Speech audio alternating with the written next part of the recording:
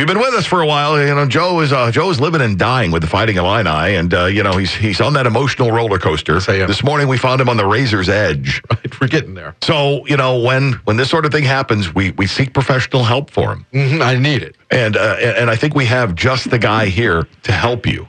He's the best. Uh, Jeremy Werner, uh, uh, host of Illini, uh, Illini Inquirer, uh, Illini 24 7. Uh, he's joined the show uh, before and uh, he's helped me out. Jeremy, uh, thanks for joining us again today. Yeah, no problem, guys. Good morning. How you doing, Jeremy?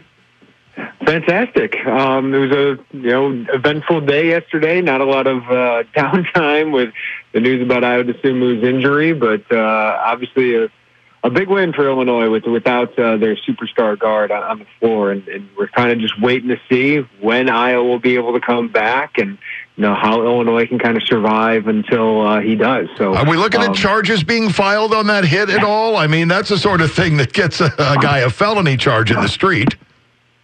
Well, Illini fans certainly wanted blood yesterday. You could tell that, uh, and I understand. Like th- that was a dirty hit uh, that Mady Sissoko from Michigan State had, uh, and he was, you know, called for it. He had a flagrant two foul. He was ejected from the game.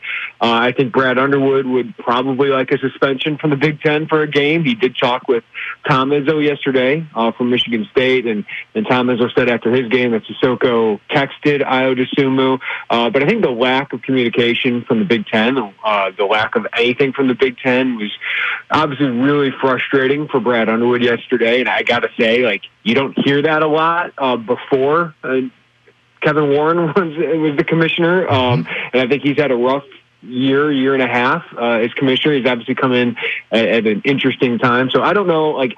Al- Alan Griffin, who was at Illinois last year, got suspended for a game with what I thought was more of egregious play when he stepped on Sasha Stefanovic at, at Purdue. If the Illini fans or anybody remembers that one, uh, that was easy to see intent. I, I don't think Sissoko was trying to hurt I would assume. I think he was trying to give him a really hard foul, and you know, I thought it was a dirty foul, and he he got thrown out of the game. So I don't know what comes of that, um, but obviously, I think the result of it with one of the star players in college basketball, um, one of the top two players in the Big Ten, missing a game, potentially missing more games, and what could be a stretch run for Illinois where they have a shot at a number one seed, right? Like the Big Ten uh, is pretty much decided here with the way Michigan's playing, but they have a chance at a number one seed if they don't have Ayo move for games at Wisconsin, at um, you know uh, Michigan, and at Ohio State. It's going to be very hard for them to do that. So, uh, understandably, there's a lot of hard feelings. But I, I thought, I think, guys, if you're Illinois,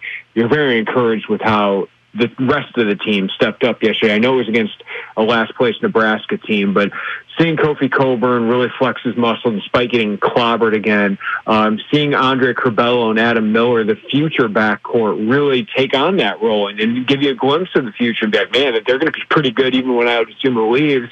Uh, then guys like Da'Monte Williams, Trent Frazier, their last games at State Farm Center most likely, and, and Jacob Grandison having a great game. So I, I just thought it was a really good team win that after a long emotional day for Illinois, I, I thought that was a pretty encouraging way to end it. Going back to that uh, that Michigan State uh, game uh, the Ayo Dosunmu foul, I mean that didn't come out of nowhere. That game was that game was rough for a while. Uh, you know, Kofi got got slapped on on the head by an arm. Kofi also, uh, you know, uh, dole out his own uh, punishment, and that game that game got out of control. And some games in the Big Ten have definitely got out of control. I'm a big. I, I, I grew up with it. My, my dad officiating uh, basketball games. I'm, I'm always on the side of officials. Um, but am I wrong in saying that the Big Ten officiating this year has been atrocious?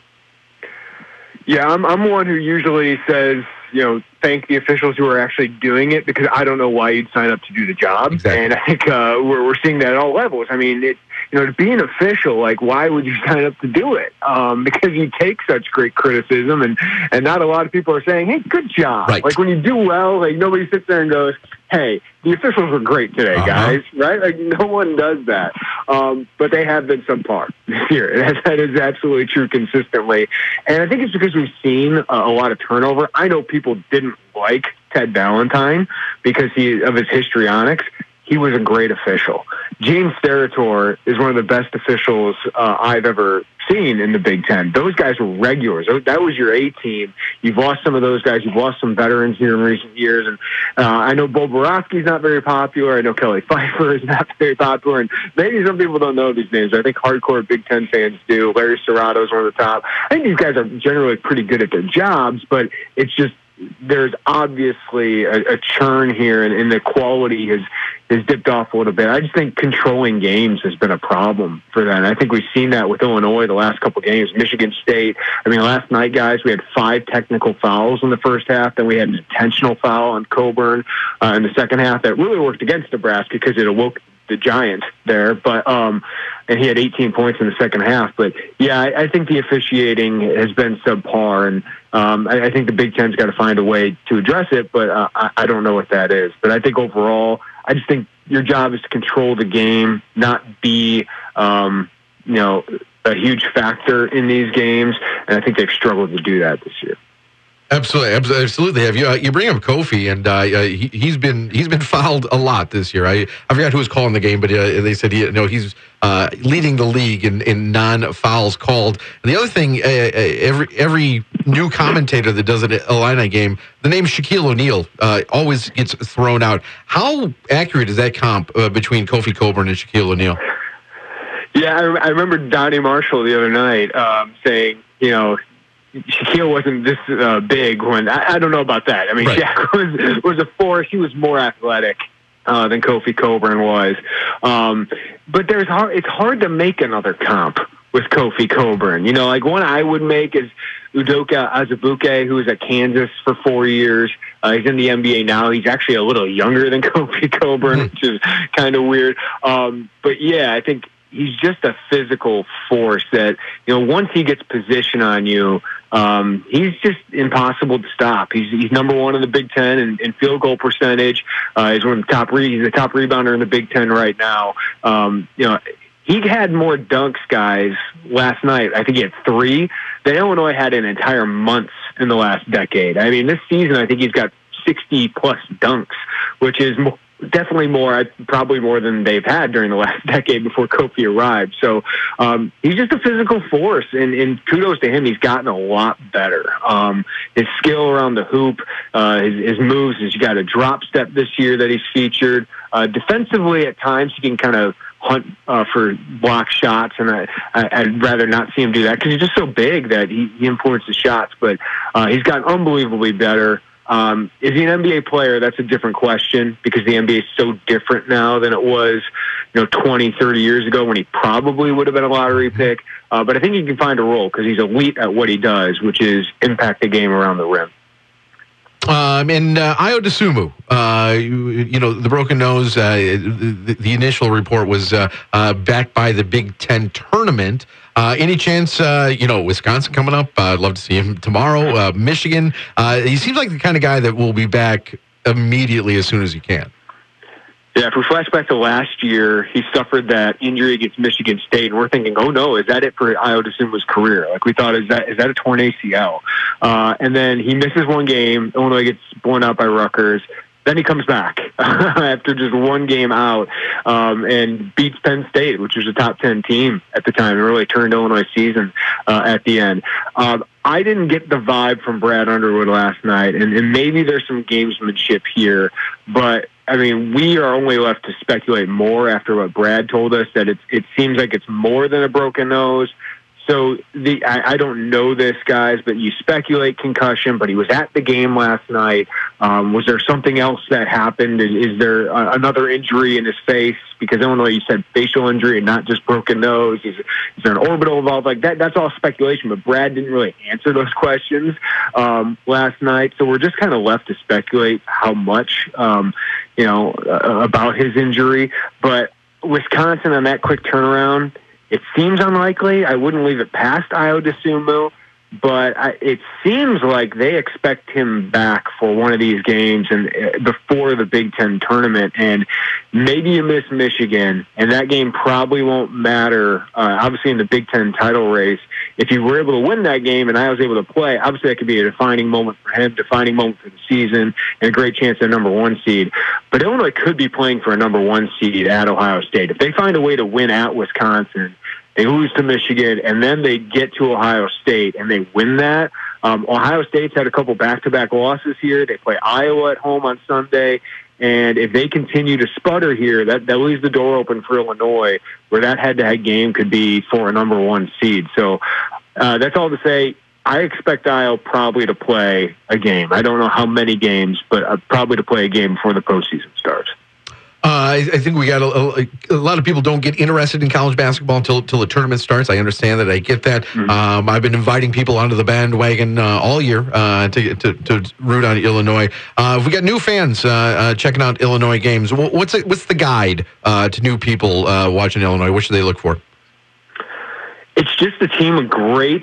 Uh, I think it's a really entertaining team to watch for, for people who watch it. They get up and down in transition. Ayo Dosunmu is one of the best players in college basketball. He's an unbelievable leader. He's kind of got this, you know, he, his hero is Kobe Bryant, and um, you know he's got this Mamba mentality. But there's just never been a player who the ball is in his hands in clutch moments and you, are just never more confident, right? Like I think Illinois fans the last two years when the ball has been in Ayo Dosunmu's hands, I mean, he's won 10, 12 games in the final minutes because of what he's done. And no player in Illinois history has come close to that, and few in college basketball have. Then you have this giant but lovable guy in Kofi Cockburn who's got a bunch of personality, uh, who just dominates at the rim. Andre Curbelo can give you a heart attack at times as a freshman, but there are a few players who are more entertaining with the ball in their hands. The, the, the, Javi, the Javi Baez comp on Andre yeah. Curbelo is is perfect. Uh, he can he can yeah. wow you and then make you uh, want to rip your hair out in the same play yeah. sometimes sometimes. I know uh, the Illini all-time leading scorer, um, Deon Thomas, calls him El Mago. So there you okay. go. It's a perfect comp for, for cross sports. Uh, Adam Miller's another Chicago kid. Uh, well, he went to Chicago High School, in Morgan Park, with Ayo Dosunmu, but he's from Peoria. Uh, and he, he showed last night that he's the next guy. Uh, he, he's the next go-to scorer for Illinois. Uh, and he's got a chance at the pros um, because he can shoot the lights out. And then you got a couple seniors who bought into this program, stuck with Brad Underwood when so many guys didn't. Uh, Trent Frazier and Da'Monte Williams, who just play those glue guy, gritty roles. You know, Giorgi Bezhanishvili hasn't had the year he wants, but he's a kid from overseas that is just so effervescent and fun to watch. And, and then Jacob Grandison. But it's just, it's a really fun team that gets up and down the court. Sometimes they can play down to their competition. Uh, but when they're clicking, um, they're, they're one of the teams that can threaten Gonzaga. They're one of the teams that can threaten Baylor or, or Michigan. So if they get hot and they play their A game, it's a team that can make a Final Four run. But it, it all starts with Ayo Dosunmu. Uh, they have one of the best duos in Illinois basketball history, one of the best duos in college basketball right now. And then uh, one last question before I let you go. Uh, Ayo Dosunmu, will, will, will he be remembered as, as the best player in Illinois basketball history? He'll be in that conversation. Uh, I actually was asking a couple people last night about his individual season um, because I, I think this is probably the best individual season we've ever seen, which I mean, we know Dee Brown, Deron Williams, Kendall Gill, Nick Anderson. You know, th- you think of some of the players who have come through here, even going back with, with Derek Harper and, and Bruce Douglas and, and so many all time greats. This is probably the single best season we've ever seen because Dee was on maybe the greatest team. You know, Nick Anderson maybe on one of the greatest teams. Illinois, I don't think this team is quite in that range. This team, I think, is more similar to kind of the Frank Williams era teams, which were really good and in competition for one seeds and two seeds.